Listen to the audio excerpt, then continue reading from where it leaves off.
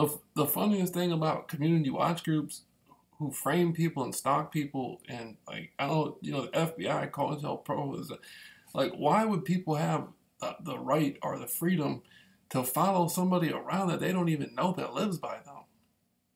Like that don't make no sense. Why would somebody feel they have the authority to go onto somebody's property and put their feet on somebody's property and follow people around? They ain't got nothing to do with them.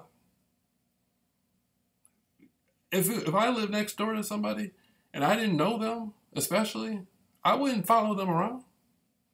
I'd say I don't know this person. What the fuck am I following them around for? You know, these community watch groups need to be shut down.